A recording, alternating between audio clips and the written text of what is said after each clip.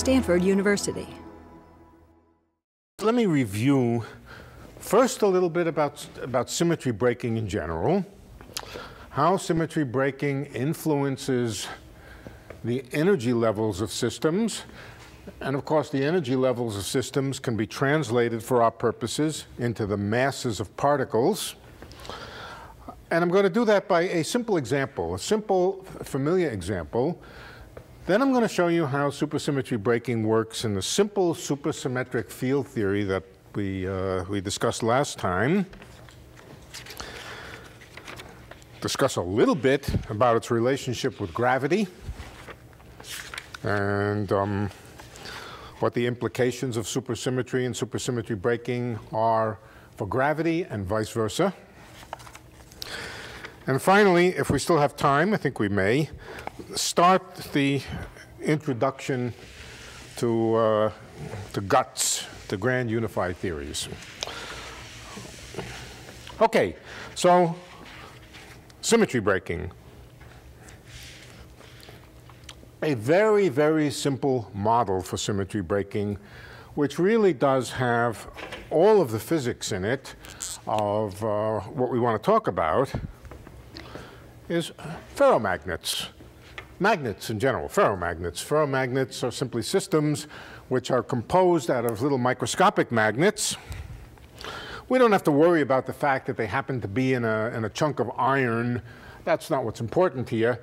What's important is that the world is made up, of this world that exists inside the ferromagnet. Let's think of ourselves as being little creatures that live inside the ferromagnet.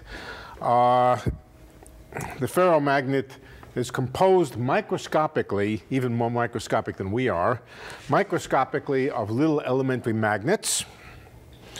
And little elementary magnets interact with each other. In a real ferromagnet, they tend to interact with each other at a bit of a distance. The, uh, the nearest neighbor interactions are somewhat augmented by next nearest neighbor interactions and next to next nearest neighbor interactions and so forth. But a very simple mathematical picture of a ferromagnet is that each little elementary magnet interacts with its neighbor. And if the interaction energy is such that it favors, that means it's lower, if the two neighboring magnets are parallel to each other, then that creates a ferromagnet. If they prefer, meaning energetically, to be antiparallel, then it creates an antiferromagnet. And there can be things in between which have no magnetization at all, meaning to say that the magnets are very random and fluctuating and don't tend to depend and don't tend to point in any direction at all on the average. Ferromagnets, antiferromagnets, and uh, non-magnets. So let's imagine an atom in a magnetic field. First, before we talk about spontaneous symmetry breaking, let's just imagine an atom in a magnetic field. What does a, what does a magnetic field do to atoms? Well, even before we talk about the magnetic field, let's just talk about the atom. All right, so the atom may have some angular momentum some spin, well, some combined spin, orbital angular momentum, and so forth. And you know that in quantum mechanics, angular momentum along a given direction is quantized. And you know, this is often drawn in elementary textbooks in a way which is somewhat misleading, but let's draw it anyway. You see pictures frequently in chemistry books uh, where you have the possible directions of magnetization Vertically, you plot some component of the magnetization, of, of the, not the magnetization, some component of the angular momentum, like the z component. You pick out the z component. Why? Uh, because uh, z, um, I don't know. My middle name is Zebulon. it is. Uh, and then you say the angular momentum can point in that direction, it can point in that direction, it can point in that direction, it can point in that direction, that direction, or that direction. What happened to all the other directions? Don't worry. The important thing is that the, uh, the, the um, components of magnetization, the components of angular momentum along the z-axis are quantized in integer multiples. All right, but they all have the same energy. They all have the same energy, and that's a consequence of rotational invariance. Roughly speaking, I, I missed some, didn't I? I didn't put some down here too. Uh, roughly speaking,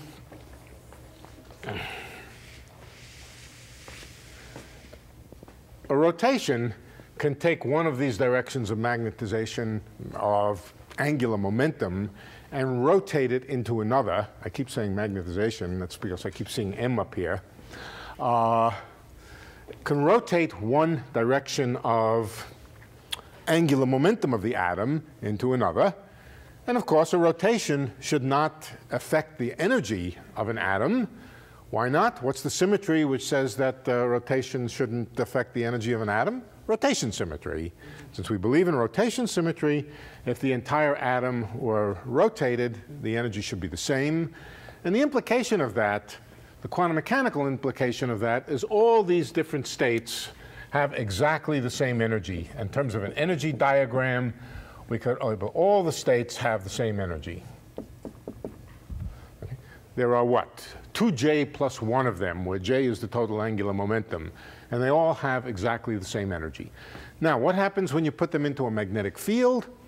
If the angular momentum has no component, now let's imagine now we put it into a magnetic field, so this direction is not just the z direction, but also happens to be the direction of a magnetic field, uh, then if the atom's component of angular momentum along that direction is positive, the energy may get increased. If negative, the energy may get decreased, and all these levels get split a little bit. Let's see. Linear in the, external, linear in the external, in the magnetic field. Linear in the magnetic field. What's this uh, phenomena called? Anybody know? the splitting of atomic levels in a magnetic field. Zeeman effect, the Zeeman effect, right. It uh, has been known for over 100 years, I believe, I think. Um, and of course, this changes spectral lines. Spectral lines, uh, new spectral lines emerge. You can have a transition from here to here, well, not, not very easily, but transitions to other states can be all split and uh, mucked up. But the important thing is that the energies of states which were otherwise, in the absence of that magnetic field, exactly equal because of symmetry, are split among themselves by a process of symmetry breaking by the magnetic field. Okay? Now, supposing that the magnetic field is actually due to this ferromagnet that's filling space. A ferromagnet is an example of spontaneous symmetry breaking. You realize that when you ask the question, which direction does the ferromagnet point in? Which direction, when the energy is as low as possible, does the ferromagnet point in? And the answer is it could point in any direction. As long as all the little magnets are lined up, the energy is the same. And so there's no preferred direction that's rotational symmetry. All ferromagnets, no matter what direction they point in, have exactly the same energy. And if there's nothing else around to pick out a direction of space, the only thing that picks out the direction of space is the ferromagnet, is the orientation of the ferromagnet. So for that reason, all of the ferromagnets, no matter which way they're pointing, are physically identical to each other even though from some abstract outside point of view they're pointing in different directions, there would be no difference between them for creatures that live inside the ferromagnet. However, supposing one of these creatures happens to be an atom, an ordinary atom, and it's under the, it's interacting with a ferromagnet. So here's the magnet, here's the uh, atom, the magnetic field of the ferromagnet happens to be pointing in this direction this way, that will have exactly the same effect as the external magnetic field. It's just a, a, a mathematical magnetic field, and it will split the atomic levels. Right? It'll split them according to the z component of their angular momentum. But what happens if the magnetic field is pointing in another direction? Just as good a direction, say that way. Well, from the point of view of the atom, there's no difference. Its levels get split. It's not the z component of angular momentum which determines the splitting. It's the component along the magnetic field. And exactly the same pattern emerges uh, with the atomic levels split like this. So um, the ferromagnet simulates, if you like, the effect of explicit symmetry breaking. Explicit symmetry breaking would mean that the world was fundamentally not rotationally symmetric. Of course it is, and that's, uh, that's confirmed by the fact that you could rotate the whole ferromagnet and everything would be the same. In other words, the symmetry involves not only rotating the magnet, but also rotating the entire world's worth of, uh, of uh, little magnets. Somebody inside this ferromagnet, of course, cannot do the experiment. Creatures made up out of the little excitations of the ferromagnet could not do this experiment of rotating the entire magnetic field. So they would say, well, it looks to us like the world breaks the symmetry of rotational invariance. But what is the difference? What kind of experiment could be done from inside the ferromagnet to confirm that this was a case of spontaneous symmetry breaking rather than just the world being uh, asymmetric? And the answer is, the answer revolves around this phrase that we've used before, Goldstone bosons. Let me remind you what a Goldstone boson is. First of all, if you take all the magnets and rotate everything, it costs no energy at all. But now supposing you do something a little different. Very slowly as you move through space, slowly means uh, slowly in space, very, very slowly and gradually, you imagine changing the direction of the magnets. Um, it's not going to stay that way. The magnets which are aligned over here are going to pull the neighboring ones into the same direction, and it's going to create waves. It's going to create waves. Those waves, or the quanta of those waves, are called Goldstone bosons. But the interesting implication is that when the wave is very, very long wavelength, extremely long wavelength, in this case they would be called spin waves or magnons magnons, rotations, gradual rotations of the magnetic, uh, of the direction of the magnetic field, those magnons, the very, very long wavelength ones, would cost arbitrarily small energy. The longer their wavelength, the less the energy they cost, because after all, if the wavelength was infinite, that would be exactly the same as rotating everything, and that costs no energy. Long wavelength means low momentum, and excitations which have no energy or whose energy goes to zero as the wavelength gets longer and longer are called massless. Massless particles are the ones whose energy decreases as the wavelength gets longer and longer, or as the momentum gets smaller and smaller. So a person living inside this ferromagnet or perhaps two people living inside this ferromagnet, one over here, one over here, could send messages to each other by wiggling the, uh, wiggling, somehow grabbing hold of their local, they can't grab a hold of all of the magnets and rotate them, but they can grab a hold of a couple of magnets nearby and wiggle them a little bit. And the effect of that wiggling a little bit will be to create spin waves or magnons, and those magnons can propagate from one, uh, from one person to another, can send messages with them, and those people living in this ferromagnet, after they've done lots of experiments with these spin waves, will conclude from experiment that those spin waves are massless, that it costs no energy to make very, very long wavelength ones.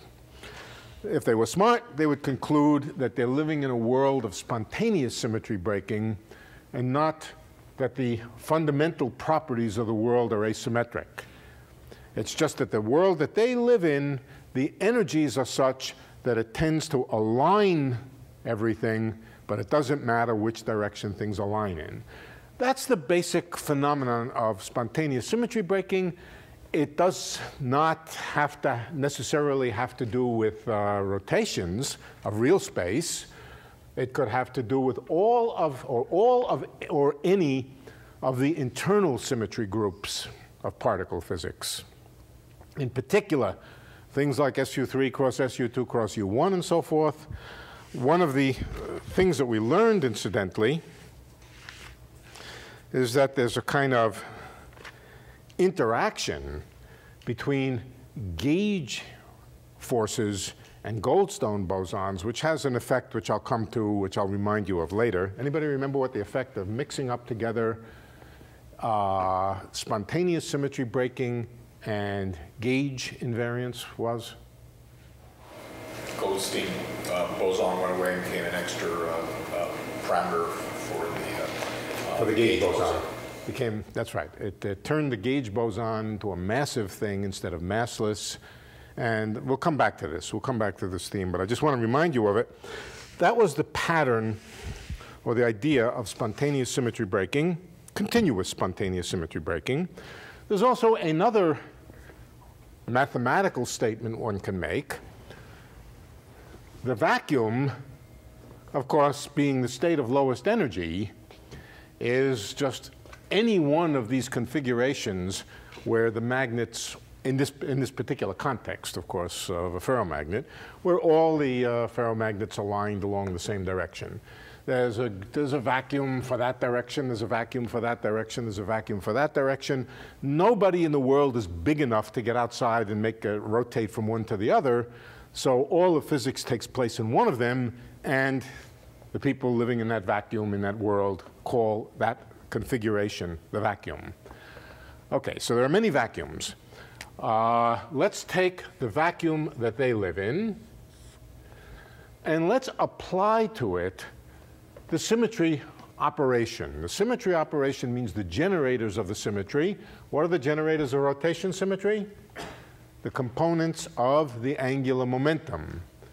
Angular momentum, sometimes I call it J, sometimes I call it L. Let's call it J right now since it consists of all the angular momentum of everything. Let's call it J. And what does J do when it acts on a state? It infinitesimally rotates it a little bit, right? It infinitesimally rotates it a little bit. If the vacuum state was such that it really was symmetric, that it really didn't have this kind of spontaneous symmetry breaking, what would, hap what would happen uh, if you uh, if you rotated the state a little bit? It would come back to itself, right? Now you have to remember that this is, uh, this is the difference between, the J really represents the difference between the rotation and the non-rotated state. It's the little infinitesimal change in the state that's made by, uh, by a small rotation. J corresponds to a small change in the state. If the state, the vacuum state, was symmetric, then when you apply J to it, nothing happens. And the right-hand side is just zero. No change whatever in the state. Uh, from a formal mathematical point of view, the signal of spontaneous symmetry breaking is that J, when it acts on the vacuum, doesn't give zero. It gives a state which is slightly rotated. So not equal to zero means that the, that the vacuum has a spontaneous symmetry breaking.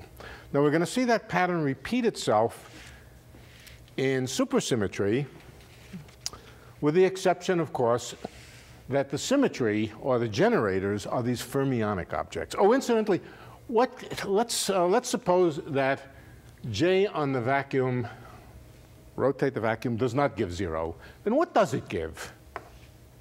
What does it give? Well, it has the same vacuum. It doesn't give the same vacuum. It gives a slightly rotated one. but the slightly rotated one is equivalent to putting into the system an infinitely long wavelength Goldstone boson. So you could say that J on the vacuum creates a very, very long wavelength, infinitely long wavelength Goldstone boson. Does J on the vacuum change the energy? No, it just rotated the vacuum a little bit. And so J, when it acts on the vacuum, we can write here that it gives a Goldstone boson state. Let's call it a GB. It gives a Goldstone boson state. And the fact that rotating the vacuum doesn't cost any energy at all tells us that the Goldstone boson has no energy. This is the pattern. Uh, one more point. All these points are important. The magnetization of the ferromagnet is described by a little vector, by a vector.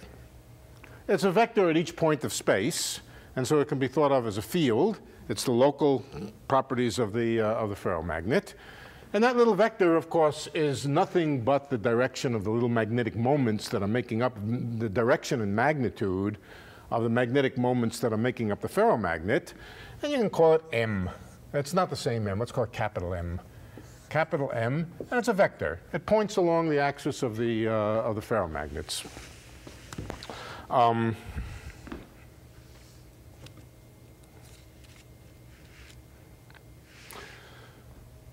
if m is zero, that could be the case, for example, in a warm ferromagnet. If you heat a ferromagnet up, then the magnets uh, fluctuate on the average. They, uh, there's no net magnetization. In quantum mechanics, it just may be that the quantum fluctuations wash out uh, the magnetization. If m equals zero, that's the situation where we say the vacuum is symmetric. There is no magnetization. If any component of m is not equal to zero, that's another way to represent spontaneous symmetry breaking. If any component of m is not equal to zero, then the system is magnetized along that direction. And if you rotate that component, other components will, uh, will become non-zero. All right, so if the z component is non-zero, and you rotate the ferromagnet, the x component may, may become non-zero, or the y component may become non-zero. So all of these things are the mathematical and physical uh, correlates of the idea of spontaneous symmetry breaking. Okay, now let's review a little bit about supersymmetry, and I'm going to add a little bit to it. We're not, uh, I haven't finished torturing you yet, tormenting you. We're going to add just a little bit. If we want to do it, we got to do it. Let's just review. We worked out a, symbol, a single example of a supersymmetric quantum field theory, or a supersymmetric field theory. Um, it involved one fermion and one boson field, and I'll just remind you about it. Uh, it involved a superfield that I called capital phi. And capital phi had the property of being a chiral superfield. I won't bother you with the definition of that now, but the important thing about the chiral superfield is that in one form or another, it really only depends on two variables, y and theta. And I'll just remind you, just to put up the equations here, y was equal to the ordinary coordinate x plus i theta bar sigma theta. And that was called a chiral superfield. Okay? It's also complex. It's important that it's complex. And if you wanted to try to make it real, what you would find is that a supersymmetric transformation would generate an imaginary part. So it's not consistent with supersymmetry to say that it's real. That was phi, and we introduced a Lagrangian for phi, first a super Lagrangian, the super Lagrangian, I think I indicated by a capital lambda. And it's a thing which you integrate with respect to space, space-time, and with respect to the thetas. One term was integrated with both respect to thetas and their complex conjugate. We could call it d4 theta, but I'll, I'll indicate explicitly that it was an integral over both the thetas and the theta bars. And in the simple example that I worked out for you, lambda was just equal to phi star times phi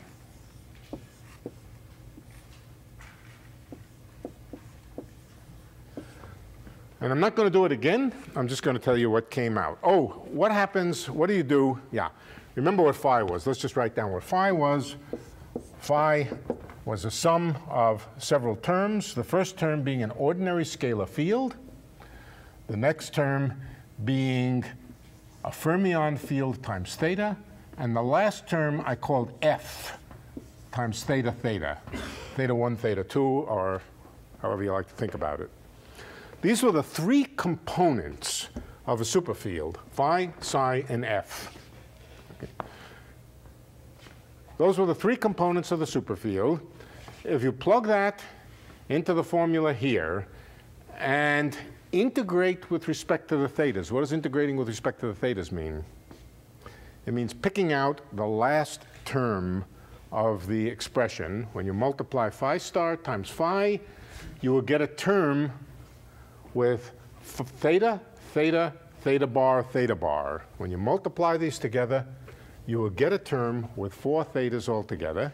And if you work it out carefully, keeping track of the details, what we found was that this became just the ordinary action for a scalar field and an ordinary fermion field. In other words, this gave rise to an action which was the integral dx of, what did it have? It had partial of phi with partial of phi star with respect to x mu, partial of phi with respect to x mu. That's just the ordinary Lagrangian uh, of a scalar field. I won't bother, I'm not going to keep track of detailed numerical factors. We've seen this before. If we varied that with respect to phi, we would get the simple Klein-Gordon equation.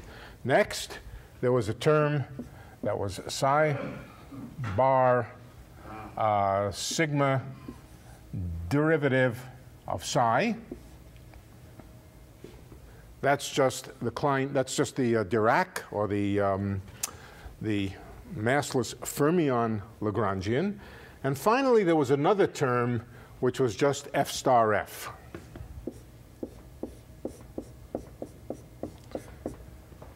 Why just f star f? When you square this, or when you multiply it by its conjugate, you'll get a term f times f star theta, theta, theta bar, theta bar, and so that's also here. That's what we got, and that was the starting point.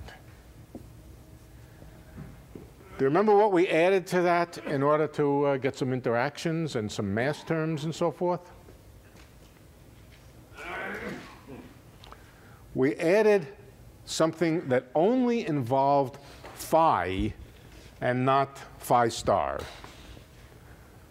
For example, phi squared. We added to the Lagrangian or the super Lagrangian phi squared, for example.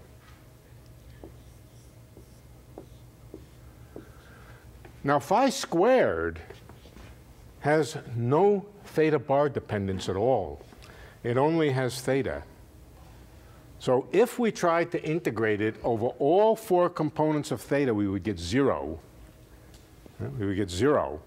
The right thing to do in this case is just to integrate it with two thetas. The theta, let's call it d squared theta. In other words, to pick out the term of phi squared, which has two thetas in it. So I'm going to show you how to do that more generally. We did this, the effect of it was to give us a mass for the particles, just as just review from last time, but I'm going to work it out in more generality. Instead of writing phi squared here, I'm going to write any function of phi. But before I do any function of phi, let's be a little more modest for the moment and just take phi to the nth power. Later on, we can add together terms with different powers. This is uh, a fairly, phi to the nth, we can add up different n's and uh, make a Taylor series expansion of a function, as long as the function is Taylor series expandable. So let's take phi to the n, put that in here, d2 theta, and see if we can figure out what kind of ordinary Lagrangian for the usual, for the phi, psi, and f come out of it. And this is not hard. This is pretty easy, but I have to do it each time over again because I get confused. So let's just take uh, phi plus psi theta plus f theta theta and multiply it together n times. Okay, let's multiply it together n times. Phi plus psi theta plus f theta theta. We're going to multiply them. Dot, dot, dot, dot. Phi plus psi theta plus f theta theta. And what are we looking for? We're looking for the terms which have two thetas. Only the terms which have two thetas will be interesting because those are the only ones that survive when you integrate it over theta. All right, so which kind of terms? There's really only two terms here, only two kinds of terms in all this multiplication here, which have two thetas.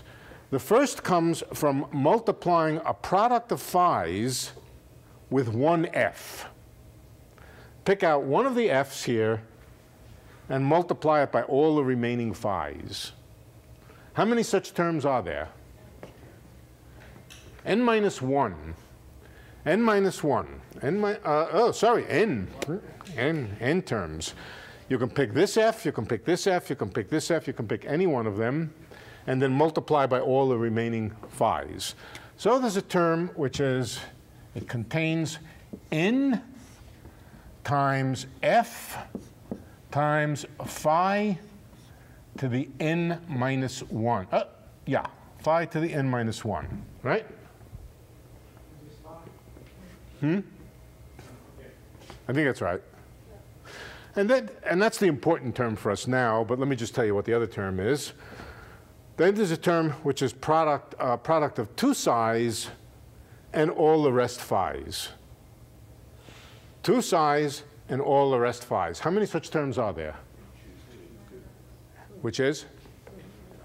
n times n minus 1 over 2.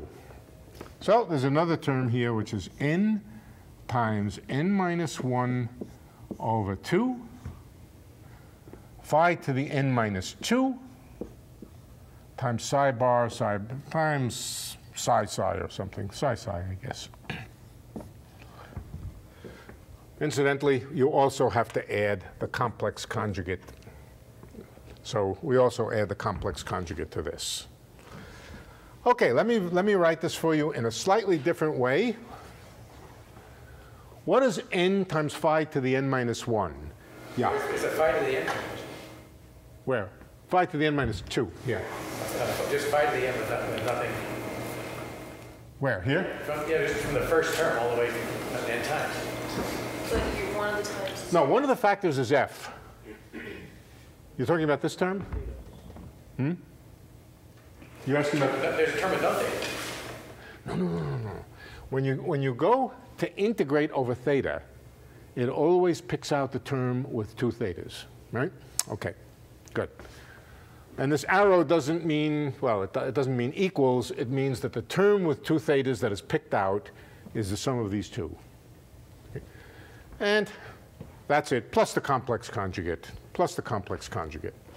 All right, there's another way to write this. It's, it's exactly the same thing, but let's just uh, look at it. n times phi to the n minus 1. The original superpotential, this is called the superpotential, incidentally. This is called the superpotential. The superpotential, and, uh, and I'll write it as V with a uh, sort of Roman uh, substantial looking V. It's a function of phi. And in this case, it is just phi to the n for this particular case. Well, if v is phi to the n, what is n times phi to the n minus 1? This, this phi here is a little different than this phi. This phi here is just the first term from the superfield. this v of phi is a formal expression involving the full superfield. But if the function v is the nth power, then what is n times the variable to the n minus first power? It's the derivative. It's the derivative. So we can write then that the, um, the term that we get out in the action after we integrate over thetas, first of all has f times the derivative of v with respect to phi. Now, what happens if I have more terms with different powers of n and coefficients in front of them? Each one adds to this, but it still adds just dv by d phi. Uh, this is a linear operation here. If we add terms to v, v more terms with other powers of n, nevertheless, what we will get will be f times the derivative of v with respect to phi. So whatever v is, if somebody gives you a v, you come back and you say that adds to the action f times dv by d phi, and you'll be right. You also have to add in the complex conjugate, f star uh, d v star by d phi star. All right. Good. Also, what about this term here, n times n minus 1 over 2 times phi to the n minus 2? Second derivative? That involves the second derivative. That involves the second derivative of v. It's 1 half the second derivative of v times psi bar psi, but I'm not going to write it down because I'm not interested in the things that involve the fermions right now. I'm only interested in the things that involve the boson field phi. Right? There's also things involving the fermion field. They're important. Uh, but for the moment, I don't want to write them down. Just leave them here. Okay, for example, if v was phi squared, then dv d phi would just be proportional to phi. If v was phi cubed, there would be a phi squared here, and so forth and so on. All right, now, f is a peculiar thing. It only enters into the Lagrangian, it has no, no kinetic term, there's no derivatives associated with it. That means the equations of motion for f don't involve derivatives. They're extremely simple, the equations of motion. They're just algebraic equations for f without any derivatives. And you might as well solve them and eliminate f. To do that, you write down that the total Lagrangian, insofar as it involves f, involves this coming from the d2 theta term and plus f star f coming from this term. And now you have the full dependence of the Lagrangian on this, what's called an auxiliary field. It's auxiliary because we're going to get rid of it. I'm not sure that auxiliary always means that the auxiliary fire department, I don't suppose that means you're going to get rid of it, but uh, I will use the term auxiliary to mean we're going to get rid of it. All right, f times dv d phi plus f star dv d phi star. And now let's look, what is the equation of motion for f? Well, the usual equation of motion, it involves stuff like derivative with respect to x mu times the derivative of the Lagrangian with respect to derivative of f with respect to x, blah, blah, blah, and then plus, minus, minus derivative of Lagrangian with respect to f equals zero. In this case, it's very simple. The Lagrangian doesn't depend on the derivatives of f, so this isn't here. And our equation of motion is just that the derivative of the Lagrangian with respect to f is equal to 0. Boy, is that simple. Let's write it out. What does it say? The derivative of the Lagrangian with respect to f has dv by d phi and plus f star equals 0. In other words, it immediately, and the, incidentally, the equation of motion for f star, you can just get by taking the complex conjugate of that, of this, and it's the derivative of v with respect to phi star superpotential plus f is equal to 0. Let's see, one of these should be complex conjugated over here. Well, both of them are trivially solved. The equations of motion just tell us that F star is nothing but minus dv d phi.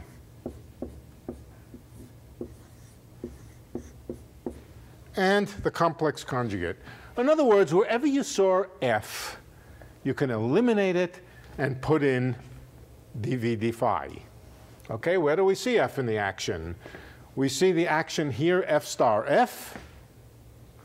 We see F star times dv star d phi star, but what is, what is F star? F star is dv d phi. So this is also going to give us dv d phi times dv star d phi star. Same kind of term as this one will. And this one and the other one here will give us exactly the same kind. In fact, two of them have minus signs and one of them have plus signs. The minus signs come from here. Minus signs in dv d phi are minus f star. So, what's that? You wrote the wrong phi in the derivative. Oh, yes, you're right. Phi. Right. F star is minus dv d phi.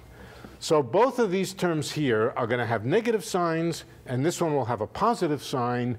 The net result is that all of this adds up to a potential energy for the phi field. It's in the Lagrangian. It's a term, a potential energy. I won't, call, it's not superpotential, it's just ordinary potential energy. And what is it? Let's just call it ordinary V now of little phi, not the superpotential, and it is just F star F, or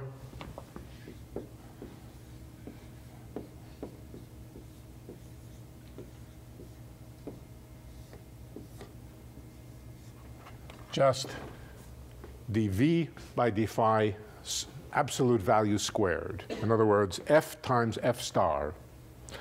So if somebody tells you, let's do an example. Let's do an example. Supposing I give you that the superpotential is, here it is, V is equal to m times phi squared m times uh, big phi squared. But at this point, it doesn't matter if big phi or little phi. Uh, what is dv d phi? dv d phi is just m. As I said, I'm not going to keep track of factors of 2 today. Apart from a factor of 2, dv d phi is just proportional to m times phi. And what about the potential dv by d phi squared? This is small phi here, small phi. dv d phi squared just gives us an m squared phi star phi. That's a mass term. That's a mass term which when added to the Klein-Gordon Lagrangian here, would give the Klein-Gordon particle a mass, would give the scalar particle a mass. All right, so that's an example. We worked that one out last time. What happens if you were to have added a phi cubed term? Then this would become m phi squared. Again, not worrying about numerical coefficients. The phi d phi would be m phi squared, and the ordinary potential would be V would be, let's call this G now, not M, G coupling constant. This would be G squared, phi squared, phi star squared. This would correspond to a Feynman diagram in which two particles came in and two particles went out, a phi to the fourth term. So if the whole upshot is that if you're given a superpotential, you can read off from it very quickly what the ordinary potential energy of the field is, just derivative of the superpotential squared, or absolute value squared. That's a very simple process. That's what you have to know about supersymmetric quantum field theory to have to understand a little bit about um, uh, uh, about supersymmetry breaking.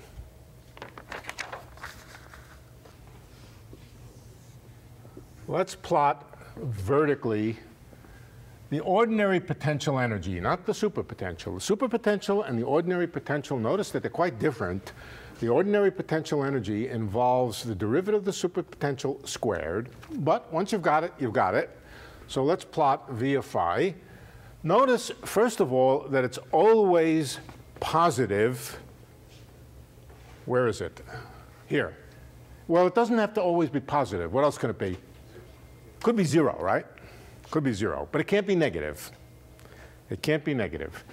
All right, so the potential as a function of phi, I'm, uh, I'm being schematic.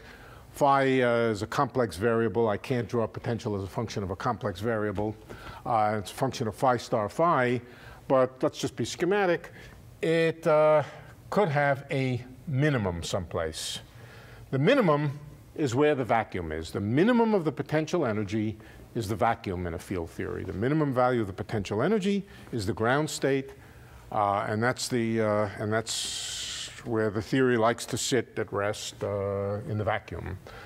All right, one possibility is that the that the minimum of the potential happens to be at exactly the bottom here, at v equals zero. The meaning of that is that the vacuum has no energy at all. The vacuum, the energy of the vacuum, the potential energy of the vacuum is zero. The kinetic energy has to do with time derivatives and space derivatives. In the vacuum, those are not there.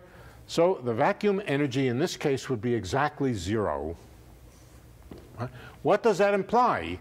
That implies that at the minimum, at the place where dv d phi equals zero, v is also zero, or in other words, that at the minimum, dv phi has to be equal to zero.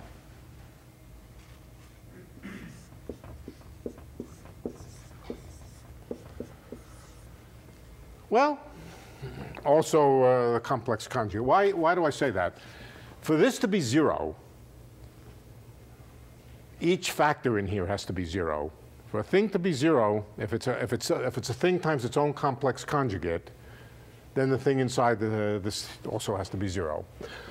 Okay, so if there is a vacuum with zero energy, then it says that dv d phi is equal to zero.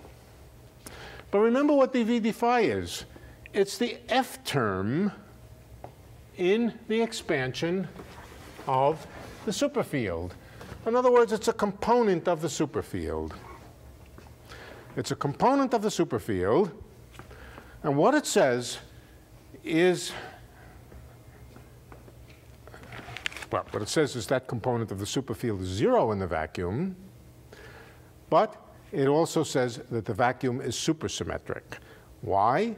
Because for something to not be symmetric, some component, in the case of angular momentum and in the case of the magnetic field, what we said is if the vacuum has a component of the, of the magnetic field which is not equal to zero, then that breaks the symmetry.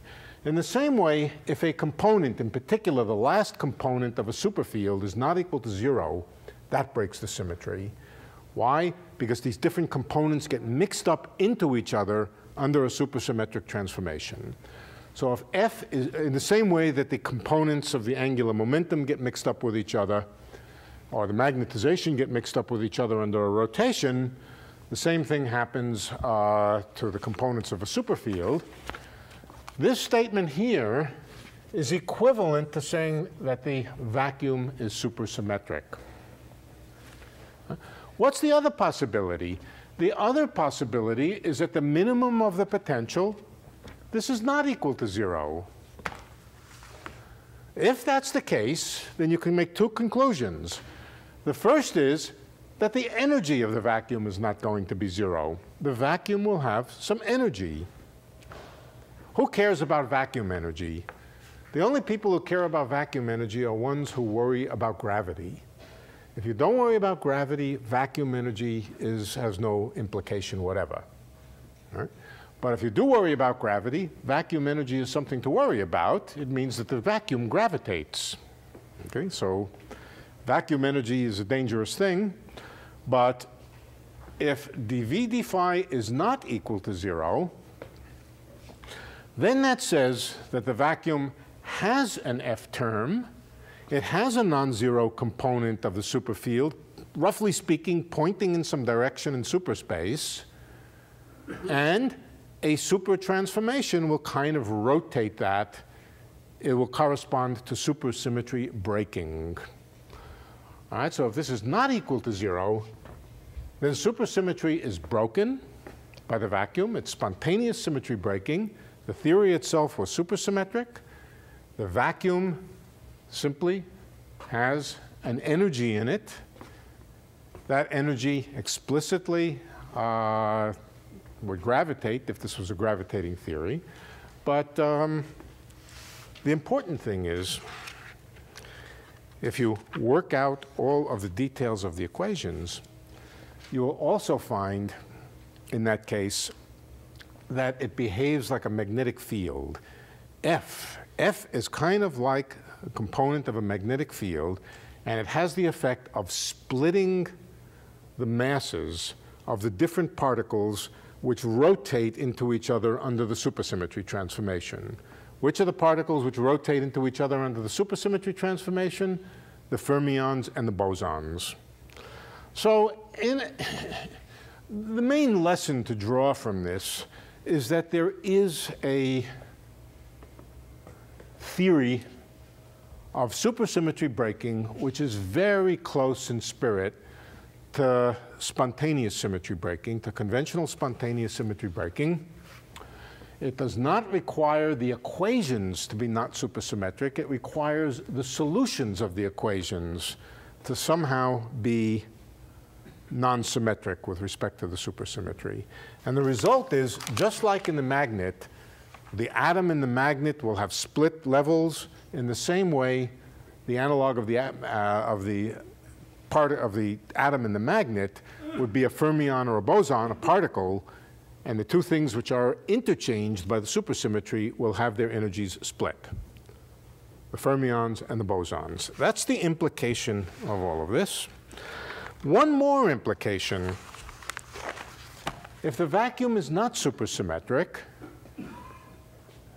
if the vacuum is not supersymmetric, the simple implication of that, just in in the, same way, if the vacuum is not rotationally symmetric, then a rotation of the vacuum gives you something new, gives you something which is not the vacuum. It gives you a Goldstone boson.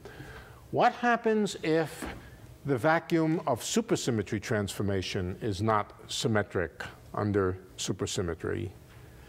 Then a supersymmetry transformation on the vacuum gives you something new. Anybody want to guess what that something new is? Well, remember that supersymmetry transformations interchange bosons and fermions. The vacuum is formally counted as a boson state. It's formally counted as a boson state, but whatever the vacuum is, a rotation by a supersymmetry transformation will change it by adding a fermion. A supersymmetry transformation always takes, always adds or subtracts a fermion. So the result is that whenever supersymmetry is spontaneously broken in this way, there is a massless particle, and the massless particle is a fermion instead of a boson. It's what happens to the vacuum when you do the supersymmetry transformation. If the vacuum is symmetric, then you don't get anything new.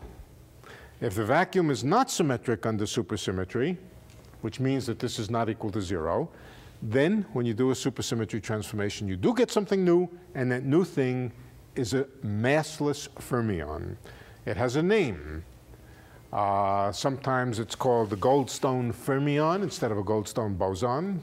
That makes sense. And sometimes it's called a Goldstino. Ino usually refers to uh, fermion. The Goldstino or the Goldstone boson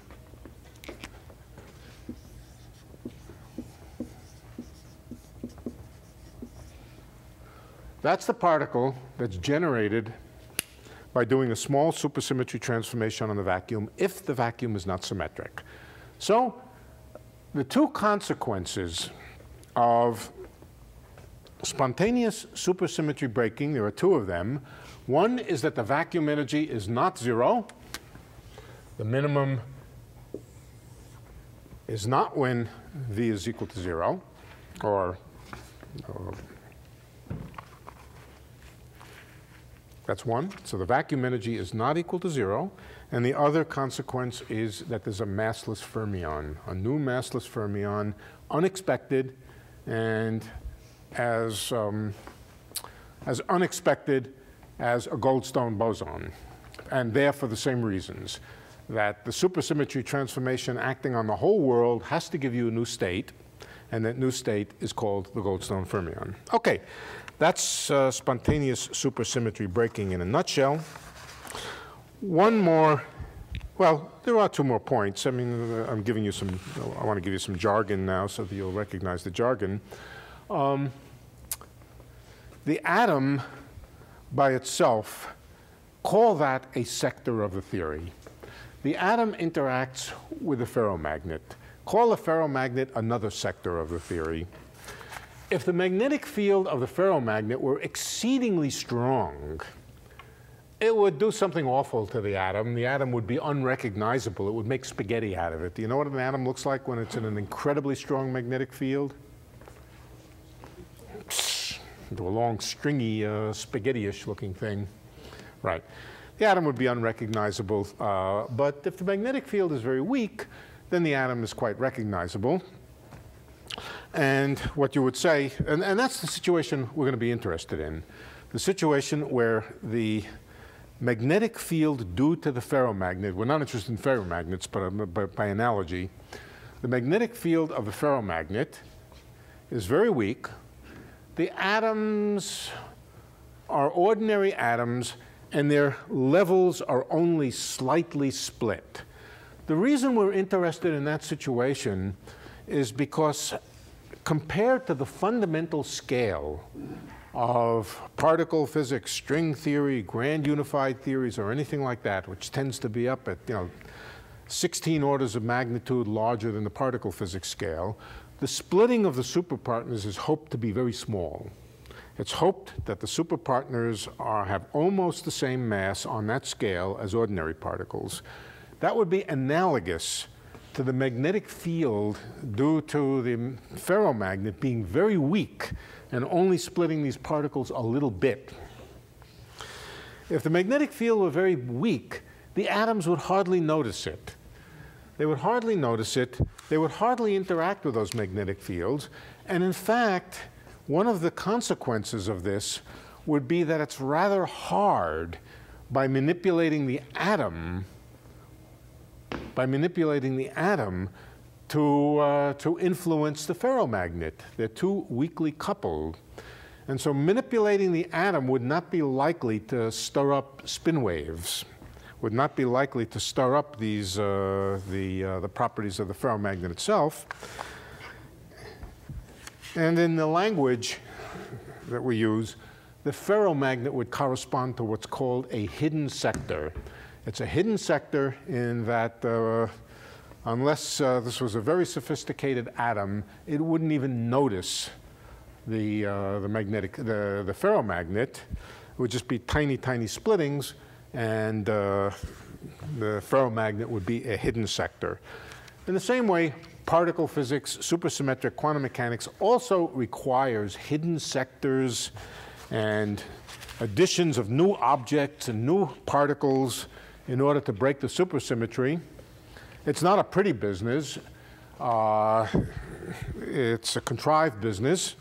You have to add particles, you have to add fields. By the time you're finished, you have a rather complicated construction.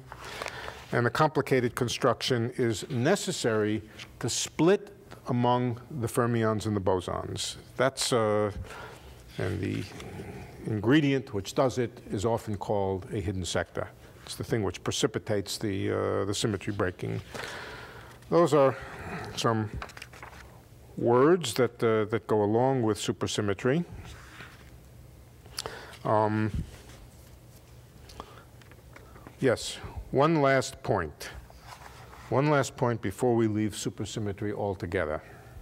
Well, not altogether, but for, for tonight. Gravity has an effect on this whole story. Gravity has an effect on this whole story, and it's a significant effect.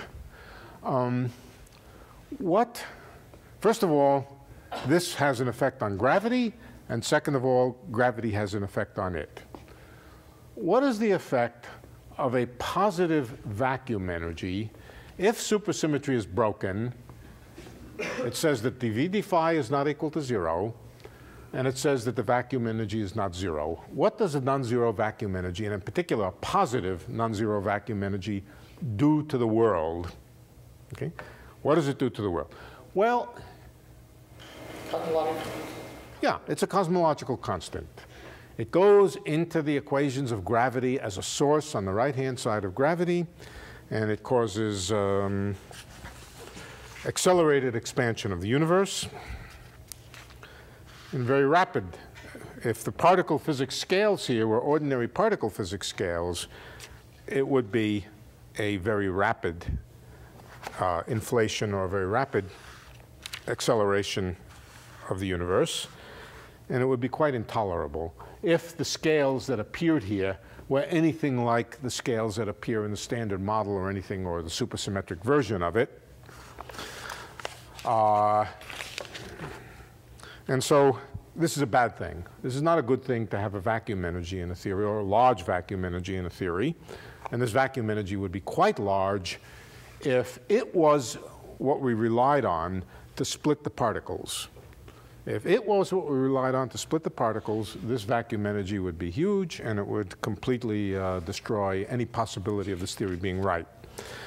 I'm going to tell you a fact or a couple of facts. One is the effect of gravity on this equation right here. The effect of gravity on this equation right here is to add or actually to subtract another term. This other term is uh, do I have the Planck mass in the right place or do I have it upside down? Oh boy, it's going to take me an hour to figure out. Um, uh, mm, dv d phi squared.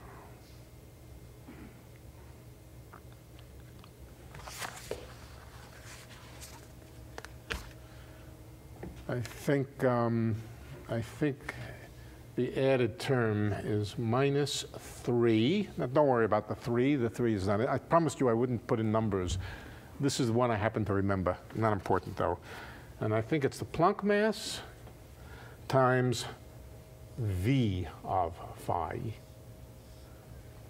That's something that gravity adds to this. Don't ask why. It's very complicated. It's exceedingly complicated. You have to build theories of gravity that have supersymmetry. That's an extremely complicated story. We won't even try. But the net result is that gravity adds a term here.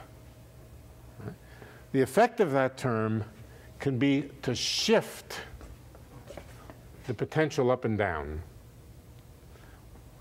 In particular, if you're very lucky, it can shift it down to something close enough to zero that the cosmological constant is the small number we know. So gravity is a thing that can come to the rescue and get rid of the vacuum energy here. As I said, it's very complicated. I'm not going to try even uh, to, I'm not even sure I understand it. Um, but uh, a bad situation is rescued by coupling uh, the supersymmetric field theory to what's called supergravity. Hard stuff. The other thing is a little easier to understand, but not easy to understand. but still easier to understand. It has to do with this, um, it's, it's related to the Higgs phenomena. And the Higgs phenomena had the property that it took the Goldstone boson and combined it together with the gauge boson and made the gauge boson massive. So let me just uh, say a few words about that. This is something is a little bit easier to understand. Um, if you have a particle of spin j, or spin, yeah, let's say spin j, how many states does it have? Well, the answer is 2j plus 1. How many spin states? 2j plus 1. So for example, if the spin of a particle is 1, the photon has spin 1. Any gauge boson has spin 1, then it has three states, right? 2j plus 1 is three states, and so forth and so on, depending on the spin of the particle. Now, a photon only has two spin states, and that's connected with the fact that it's massless. All right, so let's, let's say some things about uh, particle masses and spins and so forth. Um, supposing I told you that, let's not take an elect, yeah, let, let's, uh, let's Let's suppose the photon were massive. Let's suppose the photon were massive. And I told you it only has two spin states, namely spin along its direction of motion as a spin vector pointing along the direction of motion or the spin vector pointing opposite to the direction of motion. It has spin one, but only two states. Okay? If the, um, let's see, how do I want to say this? Yeah. Then you would tell me there's something inconsistent about this. You would say if the photon has a mass, you can Lorentz transform it or equivalently run along and keep up with the photon so that it has no momentum, but a spin. Lorentz transforming it doesn't change the fact that it's spinning. So let's take this spin state here and Lorentz transform it so that we're moving up along with it. The photon no longer has any momentum, but it has a spin. And now Lorentz transform it in, an in this direction here. What have we made? We've made a photon whose spin is not along its direction of motion. Okay? All right, so we brought it to rest and then transformed it in some other direction. So therefore, if the photon is massive, it has to have all three spin states. It has to have spin along its axis, spin opposite to its axis, and uh, the third spin state also. On, on the other hand, if the photon is massive, massless, you can't bring it to rest. You can't bring it to rest. You can't do this operation all you can do is rotate the entire state of the photon without bringing it to rest, and all that does is simultaneously rotate the momentum and the spin. So if the spin was initially along the axis of the motion of the, of the photon, it will stay that way. The upshot is massless particles, or massless photon, for example, can have and does have only the two spin states along its axis and opposite to its axis. How does the gauge bosons, how do the gauge bosons of the electroweak theory get another component of spin? It would be the component of spin along the direction of motion where the spin along the direction of motion was zero. Plus one, minus one, and no spin along the z-axis at all altogether. Where does that extra component of the spin come from uh, so that uh, the photon, or not the photon, but let's say the Z boson or the W boson can be massive. Where does it come from? And it comes from the Goldstone boson. The Goldstone boson, together with the two polarization states, the two spin states of the massless Z and W combine together and make enough states to be the massive Z and W which requires three states. The same exact thing happens when you combine two particles from a supersymmetric theory. The two particles are, first of all, the massless gravitino. Sorry, the massless, yeah, the massless, sorry, I didn't have let's forget, the massless Goldstino. The massless Goldstino, where is it? Goldstino, come out, where are you? Oh, some other board. All right. The massless Goldstino has two spin states like the electron, exactly like the electron. And uh, the massless Goldstino can either have its spin along the axis of motion or opposite to the axis of motion. There's another particle, which is the supersymmetric particle partner of the graviton. We haven't even talked about gravitons, but you all know they exist, or they have to exist in a gravitational theory. Uh, so, what's the spin of the graviton? Two. Spin two. Right. The spin of its partner is not a half spin particle, it's a spin three halves particle. Spin two and spin three halves form a multiplet. It's also massless because it's a partner of the graviton. So we have two kinds of massless, ferm- uh, and it's a fermion. So we have two kinds of massless fermions. They're distinct and they're different. One is the gravitino, which, if it's moving along this axis, can have spin three halves along that axis or spin minus three halves along that axis. But if it were massive, it would also have to have two other spin states spin one half and spin minus one half. It would have to have the rest of the full spin multiplet. It would have to have spin minus three halves, minus one half, plus one half, and spin three halves. Where does, where can those other two components come from? They can come from the Goldstino. Right? So the Goldstino combines together with the graviton in exactly the same pattern as the Goldstone boson can combine together with a gauge boson to make a massive object.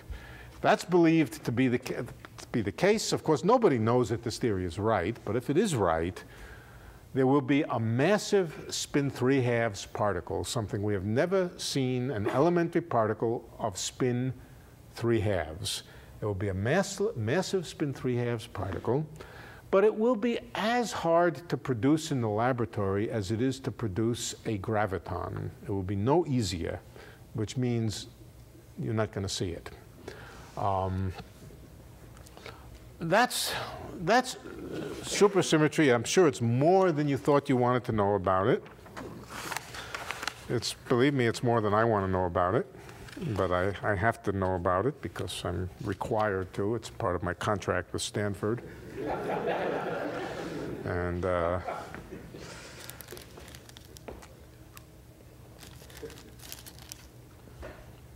um, we're absolutely finished with the mathematics of supersymmetry now.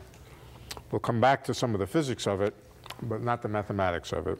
So that's the good news. Unfortunately, the bad news is that grand unification also is a somewhat mathematical subject, not as bad, not nearly as abstract. The mathematics is a little bit of group theory. Maybe we should take a, a seven minute break.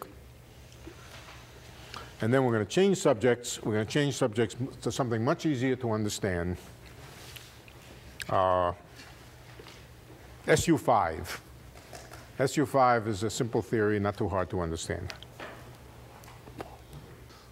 So I heard now that this um, story about CP violation at uh, Fermilab seems to conflict with other experiments, and uh, people are less enthusiastic about it than they were.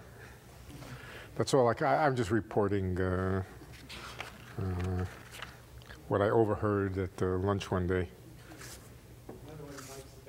What's that? The other one bites the dust. Yeah. You can make a pretty good living betting against anything new in, the, in this business. I mean, you know, it's, it's, very rarely will you be wrong. Of course, those times you'll really be wrong, but. Uh,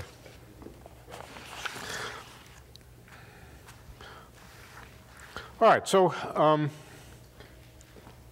the standard model is based on some group theory. SU3 cross SU2 cross U1. SU3 is the group of color. of quarks. SU2 is the weak interactions, and U1 is closely related to the electromagnetic interactions in a way that I'll be a little more precise about today than I was last, last time. Um, SU3 cross SU2 cross U1 is a group. It's a group that consists of separate transformations of three things, two things, or one thing. But people have wondered whether the whole structure could be embedded in some group which is more symmetric and more simple than SU3 cross SU2 cross U1. SU3 cross SU2 cross U1 fits in very nicely into the group SU5. And so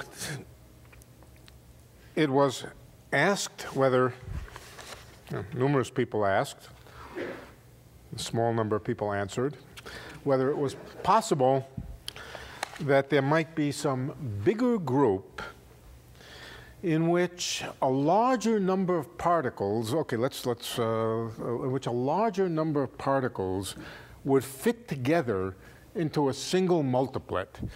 Remember that uh, the SU3 multiplets consist of the quarks. The SU2 multiplets, well, quarks have some SU2, but they also have some SU3.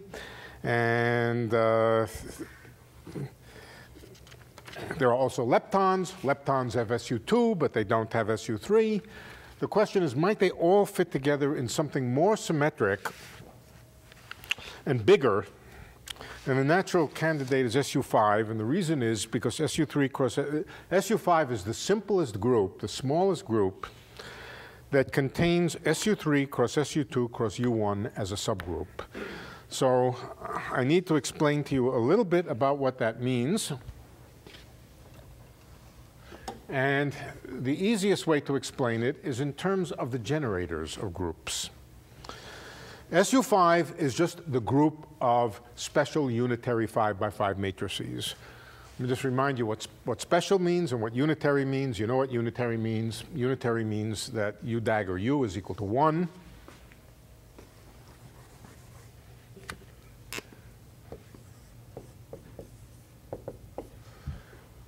And special means that the determinant of u is equal to 1. Uh, this doesn't mean absolute value, it means determinant.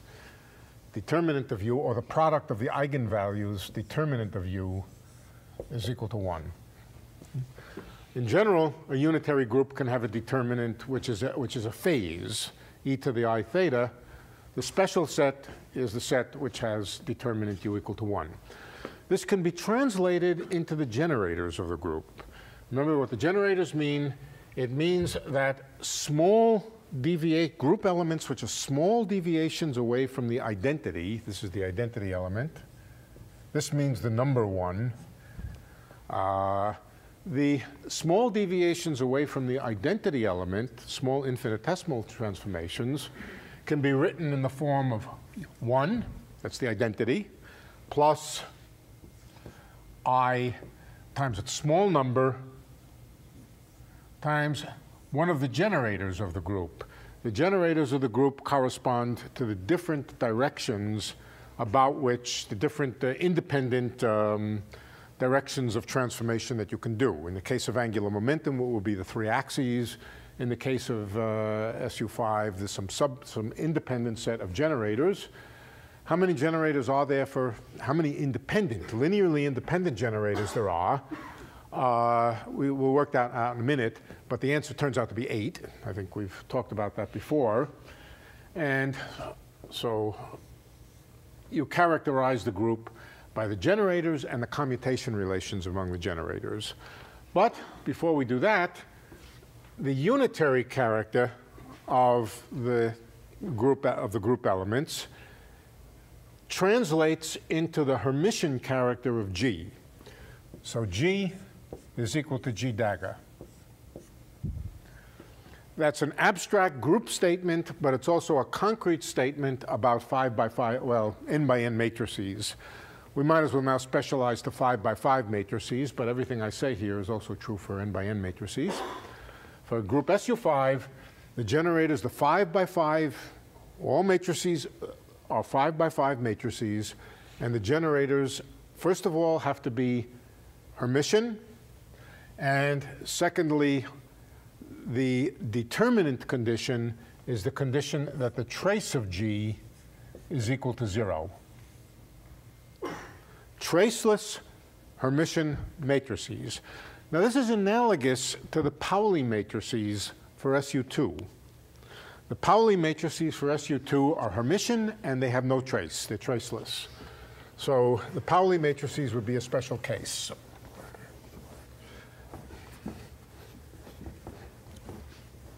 Let's see if we can count how many such independent matrices there are. Five by five, linearly independent. Well, the 5 by 5 matrices, they're Hermitian. That means uh, that the, off the on diagonal elements are real, and the off diagonal elements, these are real, real, real, real. The on diagonal elements, off diagonal elements are complex in general, but when you reflect them about the axis, they just complex conjugate, and that's the character of a Hermitian matrix. So the question is, how many parameters are there, how many real parameters, real, independent real parameters are there in such a matrix? Well, you start off with the total number of them, n by n, that's, uh, that's uh, n squared. Okay it uh, looks like there's some constraints. C is equal to C dagger. However, that sounds like it cuts the number of uh, components in half, but not really, because a complex number has a real and imaginary part. So this is two independent components, or two independent real numbers, and these two together are simply two independent real numbers, just as they look. So the number of independent components of a square Hermitian matrix like this is n squared. But then we have to subtract 1 for the trace condition. The trace condition is that the sum of the diagonal elements add up to 0. And so the answer is there are n squared minus 1 generators of the group SUN. Let's just check that um, for the one case that we know. For SU2, n squared minus 1 would be 2 squared minus 1 would be 3 and they would be the three Pauli matrices, or the three components of, uh, of uh, angular momentum would be an example, three components of spin. Okay, so for the case SU5, there are 24 independent, 25 minus 1, 24 independent um, generators of the group. That's a lot, but we're not, fortunately, we're not going to have to deal with most of them. The question is, which subset of them which subset of them correspond to the generators of SU3, SU2, and U1? All right, so that's, this is not hard to figure out.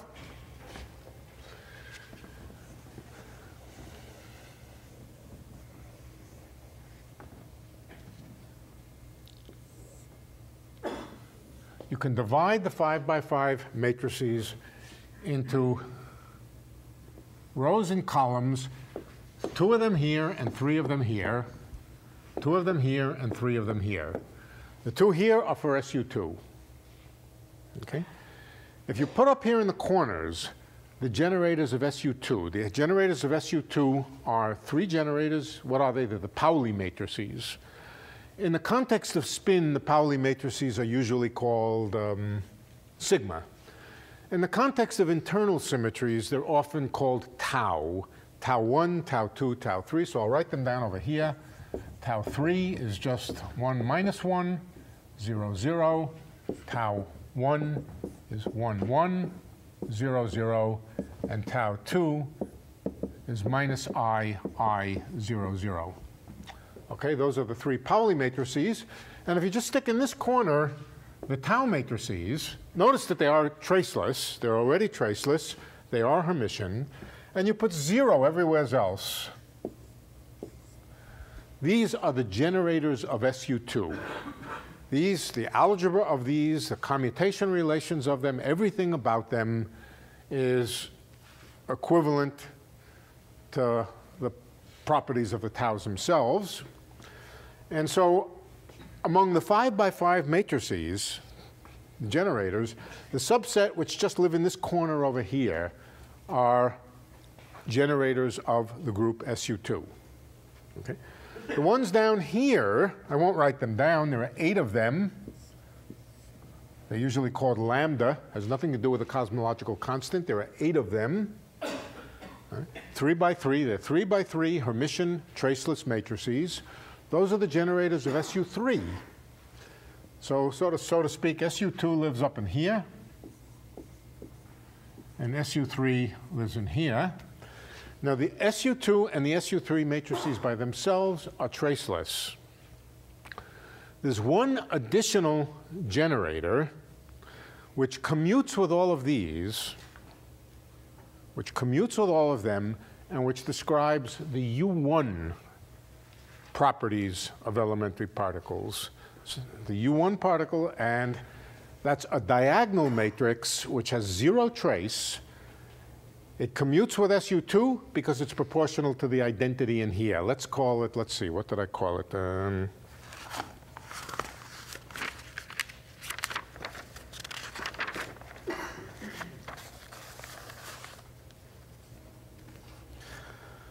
well, we could call it minus 1, minus 1. It doesn't matter. Minus 1 or plus 1 doesn't matter.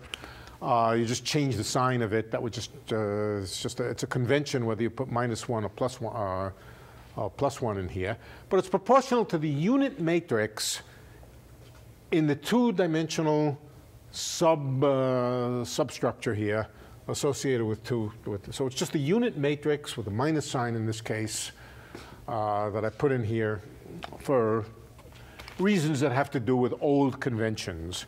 And then in here, you put, the whole thing has to be traceless, and I want to put something here which commutes with all the SU3 generators, all the SU2 generators. It has to be proportional to the unit matrix in here. And what do I need it to be? I need it to be, if this is 1, so the trace of this is minus 1, I want 2 thirds, 2 thirds, and 2 thirds. Zero everywhere else.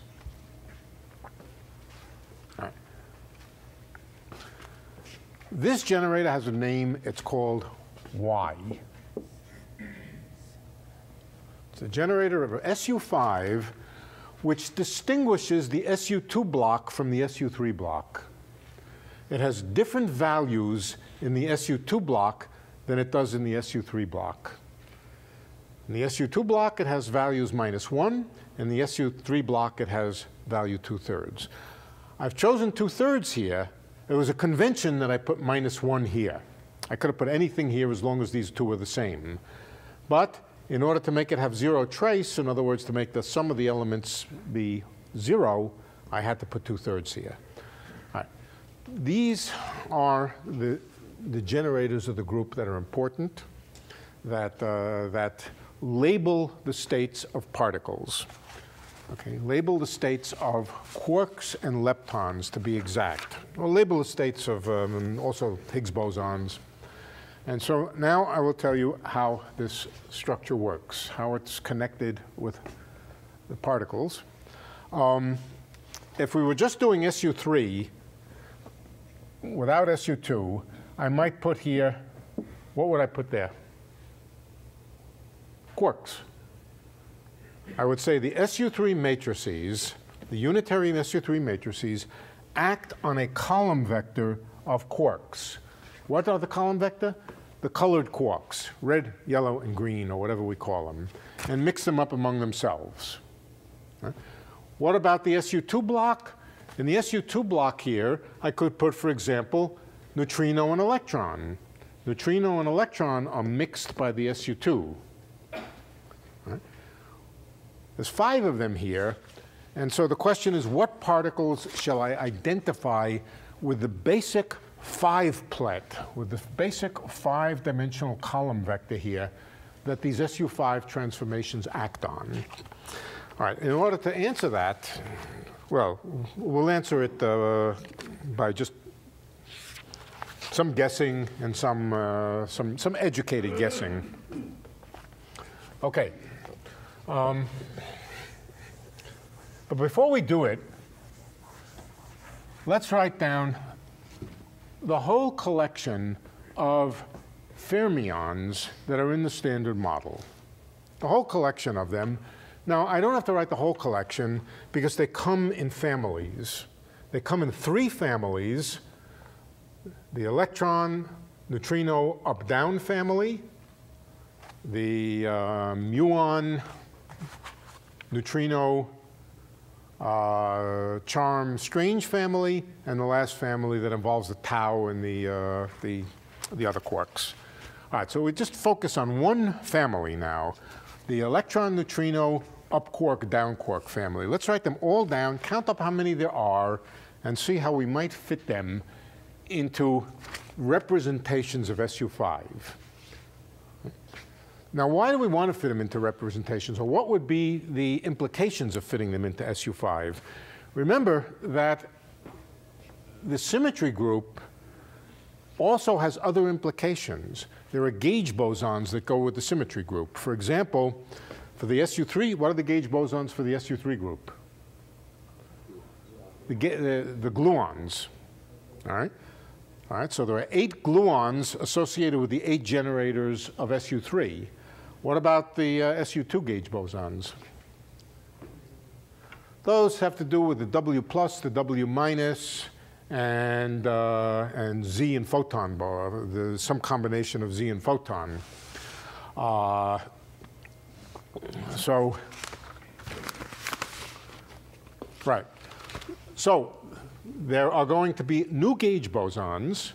The new gauge bosons, there are going to be 24 of them. Up till now, we had 2 plus 8 is 10. There'll be 14 more gauge bosons. The 14 more gauge bosons will be associated with these corners in here, and they will have implications. There will be new interactions, new forces associated with them, new kinds of particles, and that's what we want to get after. All right, so let's write down all of the particles. Now, before I do so, I have to tell you something else. As you know, fermions come in left-handed and right-handed types.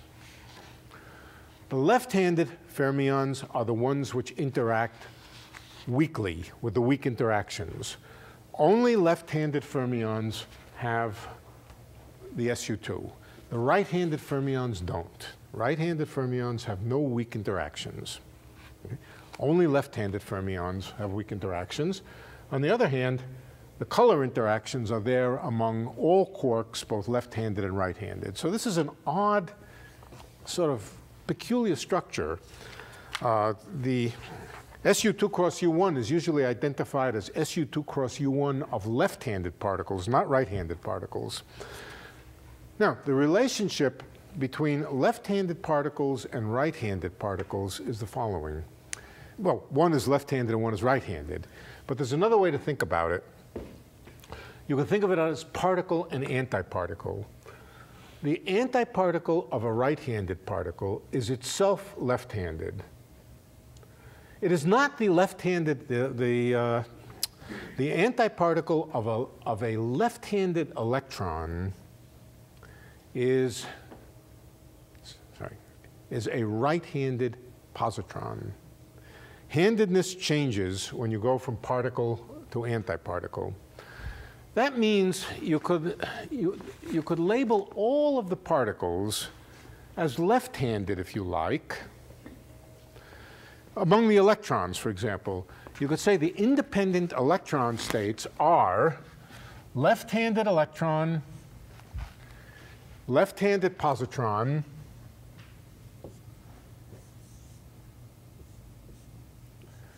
and they're antiparticles.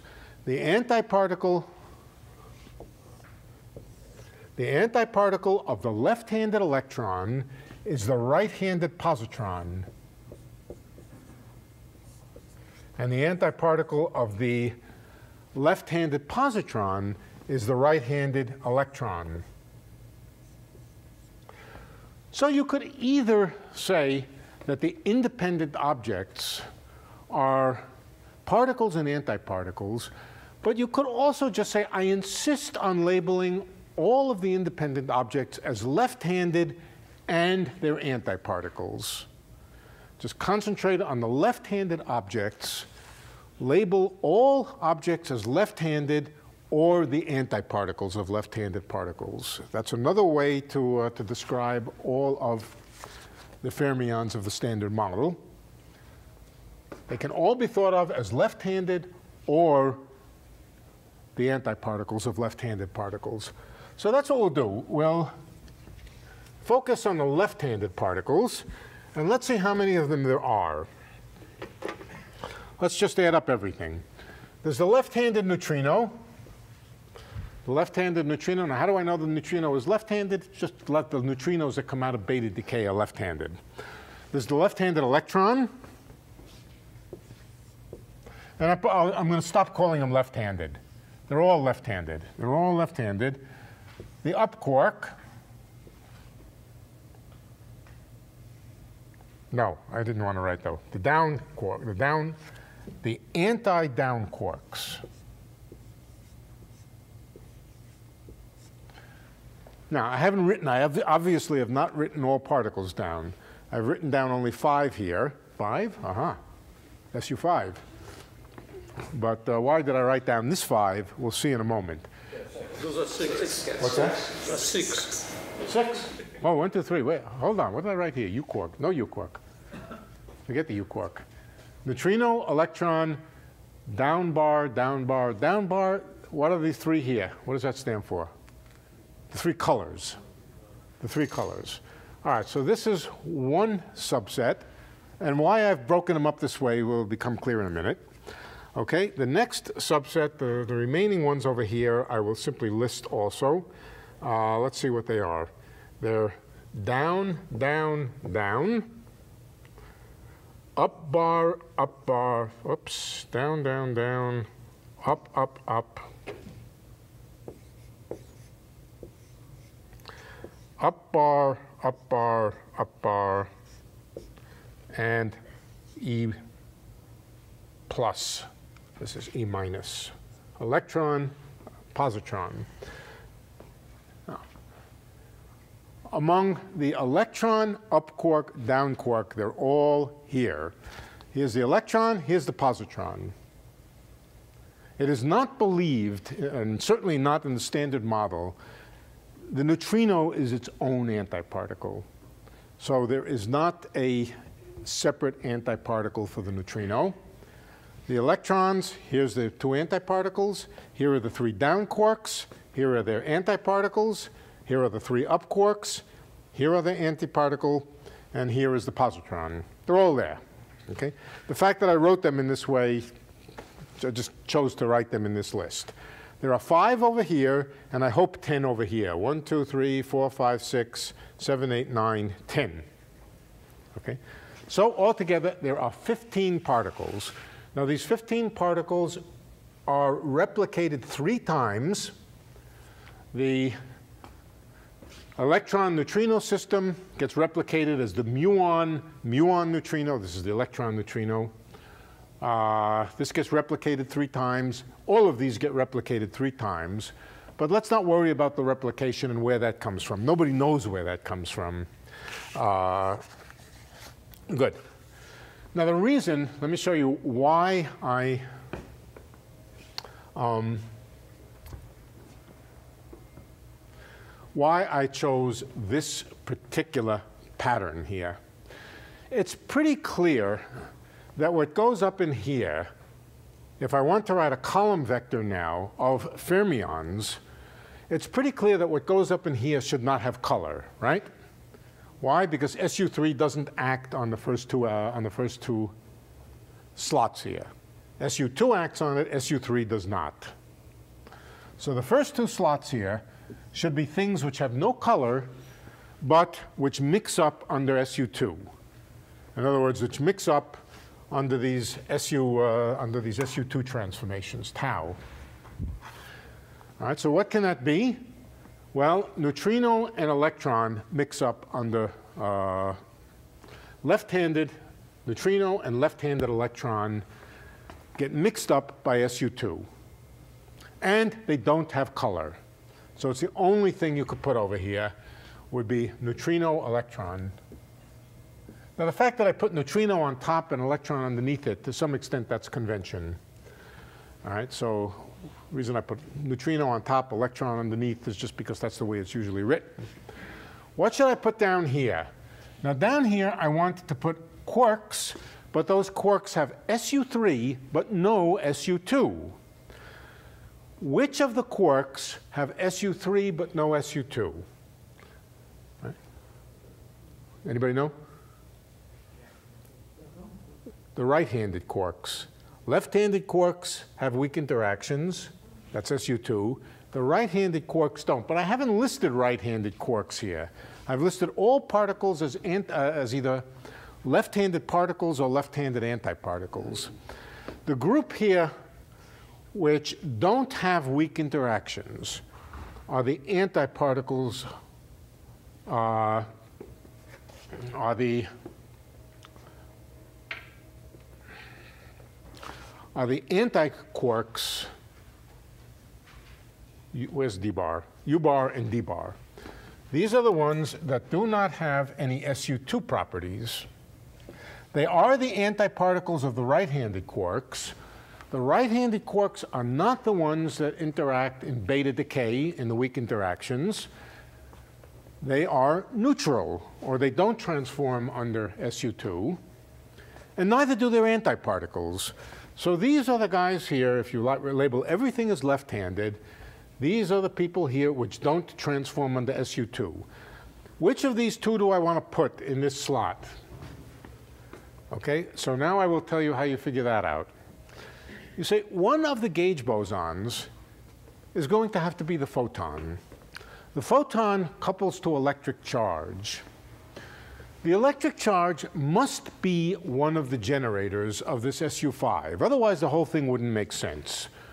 Uh, the SU5 quantum numbers are supposed to be all of the quantum numbers of the electroweak QCD color theory, all of them. What does that mean? That means the electric charge, the color quantum numbers, and the things which have to do with Z and W.